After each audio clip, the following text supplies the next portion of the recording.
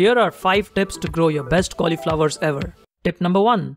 Plant cauliflowers in spring and fall. Cauliflower loves the cool season and produces nice and big cauliflower heads in the cool season. Tip number 2. Avoid direct sowing. Direct sowing cauliflowers leads to problems like insects eating up your plants and other soil related issues which result in your cauliflower seedlings not being healthy. Tip number 3 grow multiple colors of cauliflowers. While the white cauliflower may be the most commonly grown cauliflower, cauliflower comes in a lot of colors like the cheddar cauliflower and the purple cauliflower, which is loaded with antioxidants and minerals. Tip number 4. Fertilize your cauliflower plants using a tomato slash vegetable fertilizer, organic fertilizers like this Dr. Earth organic fertilizer or the AgroThrive fertilizers work very well for cauliflower plants. Tip number 5. Protect your cauliflower plants from insects. We used a garden netting like this one to prevent butterflies and moths from entering and this also protected our cauliflower plants from aphids. And these are 5 tips to grow your best cauliflowers ever.